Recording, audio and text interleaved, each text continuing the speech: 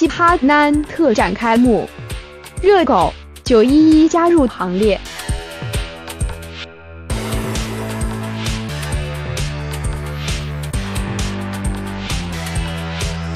热狗九一一投入台湾嘻哈圈。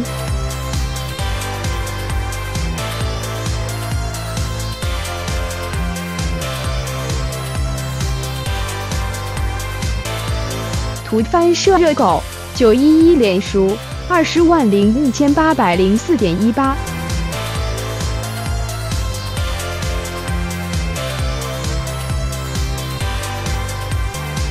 嘻哈男台湾 Kick H O P Case 特展于今十八日在华山文创园区正式开展。由颜社音乐创办人张艺胜、迪拉担纲总统筹，协同格式设计展册，完整记录了台湾由北至南的饶舌势力。展览集结了台湾近代最具代表的四大嘻哈音乐厂牌，包括颜水在内，尚有大支领军的人人有功练，以热狗为首的本色音乐。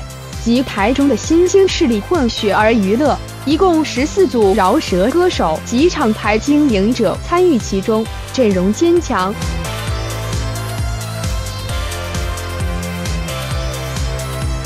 观者入场后将先经过一道以磅礴低音与重拍节奏包围的白色甬道，感受阵阵音浪带给身体的重击。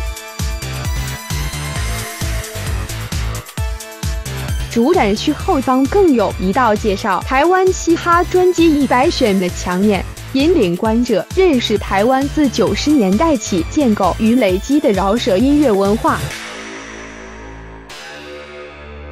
迪拉介绍展览时，引用乐平卡拉基的一段文字，表示从热狗 MC Hot Dog 第一张迷你专辑选的发行开始正式算起。台湾嘻哈音乐的发展已有十八年之久，这样的长度足以有迹可循地探索出一套属于台湾嘻哈完整的发展脉络。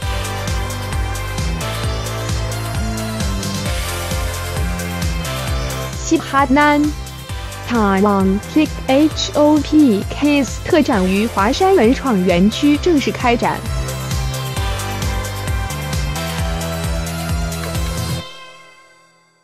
图，格式设计展册提供二十万零一千八百零四点一八。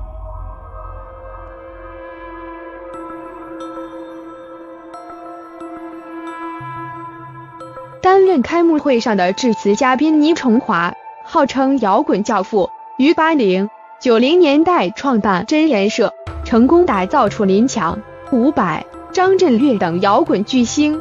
他回应。我跟迪拉认识很久。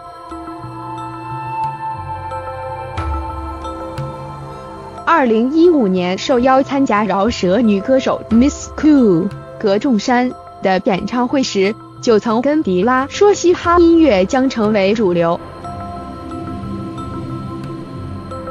无论摇滚或嘻哈，都起于对现实的反叛，这股反叛就是个体与社会进步的原动力。而我看到了这样的动能正在台湾四处窜动。